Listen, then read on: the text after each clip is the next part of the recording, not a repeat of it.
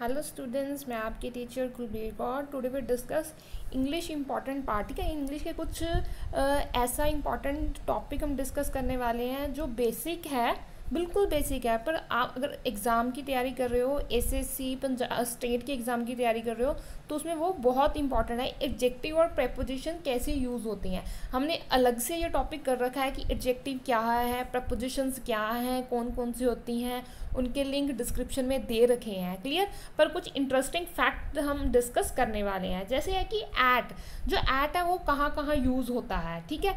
तो सबसे पहले कहते हैं we use at with adjective like good bad amazing brilliant and terrible clear to talk about skills and ability जब हम किसी के स्किल्स की बात अबिलिटी की बात करते हैं तो we we use at clear बच्चा, बहुत बहुत इंपॉर्टेंट है जो फ़र्स्ट वाला सेंटेंस है ना तो ये अगर आप पंजाब स्टेट से बिलोंग करते हो तो स्टेट के एग्ज़ाम में मोस्ट रिपीटेड है।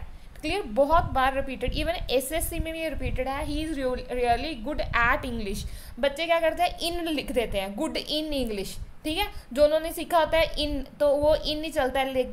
देखते हैं कि पढ़ने में ठीक लग रहा है. पढ़ने में अच्छा लग रहा है तो इन लगा देते हैं। बच्चा बिल्कुल गलत है वो, इन नहीं आएगा, यहाँ पे ऐट आएगा। तो आपको इसके अच्छे से नोट्स बना लेने हैं। बच्चा, ये आपकी स्पीकिंग के भी काम आता है क्लियर आप आज अगर आप स्पीकिंग के लिए जा रहे हो तो स्पीकिंग में काम आएगा और कॉम्पिटिटिव एग्ज़ाम के लिए जा रहे हो तो उसके लिए भी काम आएगा क्लियर तो he is really good at English ठीक है? तो यहाँ इंग्लिश के अलावा कुछ भी वर्ड आ जाए क्लियर कोई सब्जेक्ट आ जाता है तो उसमें ऐट आएगा। She is amazing at the piano ठीक है? That is ability they are terrible at the organizing anything clear I am not very good at drawing clear तो ये क्या है? स्किल्स और अबिलिटी के साथ वी शुड यूज़ एड तो हम एड यूज़ करेंगे. क्लियर तो नेक्स्ट चलते हैं. अबाउट अबाउट कब यूज़ करते हैं हम? Clear we offer use about with adjective of feeling like angry excited happy nervous sad stress worried etcetera clear to explain what is causing that feeling ठीक है? Feel के लिए फीलिंग के लिए हम अबाउट यूज़ करते हैं। I am angry about the decision clear तो यहाँ क्या आएगा? अबाउट आएगा। He is nervous about the presentation she is excited about the new job they were worried about the exam तो फीलिंग के लिए क्या आएगा? अपने, ठीक है, कोई भी चाहे एंग्री एक्साइटेड हैप्पी नर्वस कोई भी फीलिंग है तो उसके साथ वी यूज़ अबाउट क्लियर बच्चा, ये मोस्ट बहुत ज़्यादा इंपॉर्टेंट है आपको फिलअप्स में एज सच ही ऐसा आता है. क्लियर जो मैंने आपको पीछे बताया है, ये तो एसएससी में एज सच आए हुए क्वेश्चन है, आया हुआ क्वेश्चन है ये. क्लियर तो एज सच ऐसे ही क्वेश्चन आता है। तो आपको ये पता होना चाहिए छोटी छोटी बातें हैं जो आपको नहीं पता होती, जिसके कारण आपका क्वेश्चन गलत हो जाता है। क्लियर कहते of sometime we use of with feeling कई बार क्या होता है, हम ऑफ़ फीलिंग के फीलिंग के साथ ऑफ़ भी यूज़ करते हैं। जैसे she was afraid of telling her mom I am frightened of having an accident he scared of flying you should be proud of your progress clear बच्चा, आप मेरे साथ बने रहिए। चैनल को सब्सक्राइब ज़रूर कीजिए। तो आपको ये डिफरेंस पता चलने लगेगा कि क्या चीज़ कहाँ और कब यूज़ हो रही है। क्लियर तो आपको ऐसे नहीं है, आप बोलते हो कि एक ही मैंने वीडियो देखी है और उसमें सब कुछ सीखने लेते बच्चा ये लिंक होता है, जो पिछली वीडियो में हमने किया है, जो नेक्स्ट वीडियो में हम करने वाले हैं तो ये लिंक होता है, ठीक है? तो आपको बने रहना है। क्लियर अब टू कहाँ यूज़ करते हैं?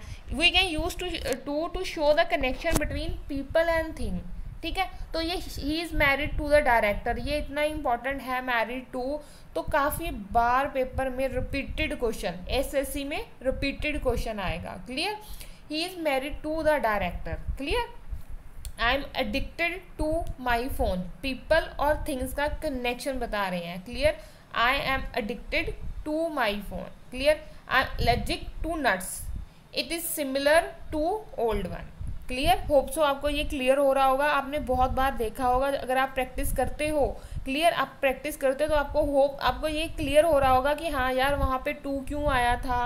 वहाँ पे इन क्यों आया था?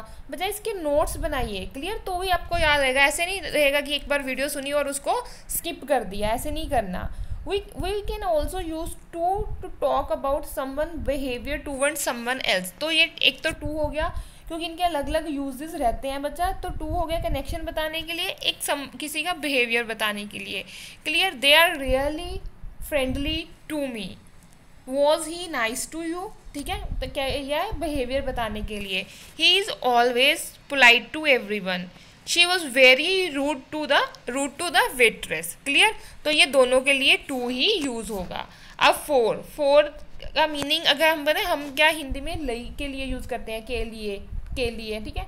Exercise is good for you clear stress is bad for you the town is famous for किसके लिए फ़ेमस है? It's cheese I am responsible for मैं किसके लिए रिस्पॉन्सिबल हूँ? To the financial side of business किसके लिए? Clear exercise is good for you ठीक है? स्ट्रेस क्या है? बैड है. ठीक है? स्ट्रेस बैड है आपके लिए? जो टाउन है, वो किसके लिए फ़ेमस है? चीज़ के लिए। मैं किसके लिए रिस्पॉन्सिबल हूँ? Financial side of the business clear तो नेक्स्ट आ जाता है इन इन आ जाता है हमारा लास्ट है। She is interested in the project clear को वो प्रोजेक्ट में इंटरेस्टेड है। They want someone who is experience in design I didn't want to get involve in the argument clear तो बच्चा, ये थोड़े थे जो प्रेपोजिशन एडजेक्टिव के साथ प्रेपोजिशन आते हैं क्लियर उसके साथ हमने वो डिस्कस किए हैं। क्लियर ऐसे छोटे छोटे टॉपिक बच्चा, जो बेसिक टॉपिक हैं और आपके एग्ज़ाम के लिए पहले इंग्लिश का बेस आना ज़रूरी होना चाहिए। क्लियर तो ये बेसिक नॉलेज है जो मैं आपको, वैसे मैंने अलग से आपको सारे टॉपिक करवा रखे हैं। पार्ट ऑफ़ स्पीच हमने सारी कर रखी है। उसके एरर प्रैक्टिस के लिए एक्सरसाइज कर रखी हैं क्लियर वकैब की एक्सरसाइज हमने डिस्कस कर रखी हैं, जिनके लिंक डिस्क्रिप्शन में डाल रखी है मैंने। क्लियर कोई भी डाउट आप टेलीग्राम पे पूछ सकते हैं कमेंट सेक्शन में पूछ सकते हैं। तो ऐसे ही एक नेक्स्ट बेसिक वीडियो में मिलते हैं। आज के लिए इतना ही। Thank you